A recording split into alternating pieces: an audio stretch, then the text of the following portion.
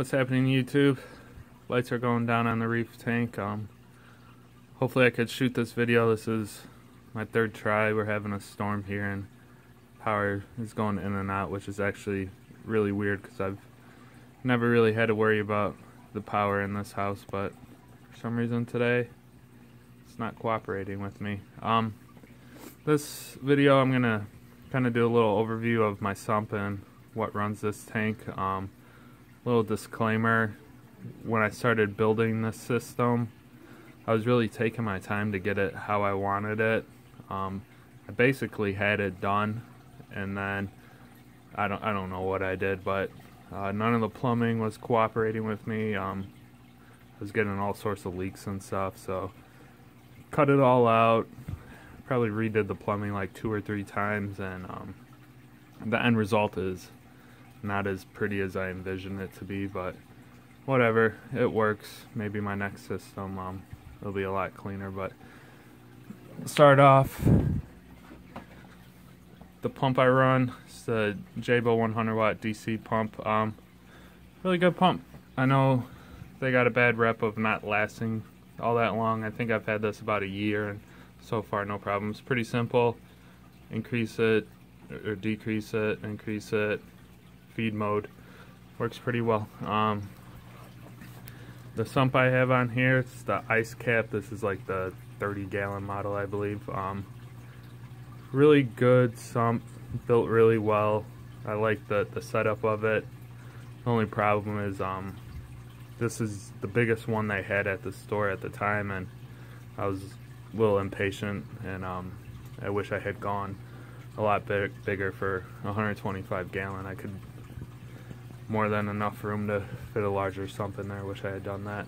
Um, first compartment, kind of got your spillover bubble trap, whatever you want to call it, into um, supposed to be two filter socks. What I decided since it doesn't have a a compartment for refugium, I just took out one filter sock, filled about half of that up with Chaeto um, not really ideal, not a really big compartment for a refugium, but I just thought I'd give it a try, see how it works. And the Chaeto's actually grown really well in this sump. Um, I'm not sure if it really does a whole lot because it's such a, a small little uh, refugium for a 125 gallon tank, but um, Chaeto's growing, so that's at least a good sign. Um, honestly, I, I really couldn't tell you if it's worth throwing the extra filter sock back in there or having a refugium, but for right now I'm just trying that out and see how it goes. Uh, for my protein skimmer, I actually just got this a couple days ago.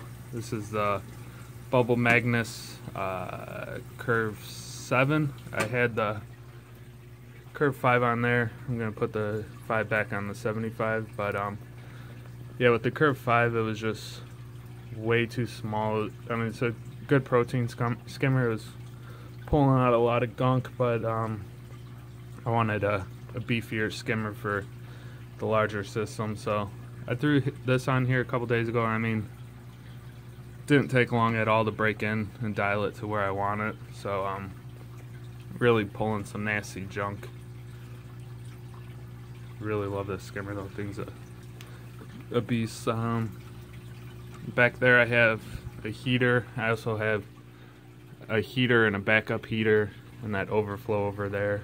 Um, I couldn't even tell you what heaters I use. I use the titanium ones without the controller because I just run it through my Apex. But um, those heaters, they seem to hold up pretty good for me. No complaints on that. Um, back here, that's my return pump.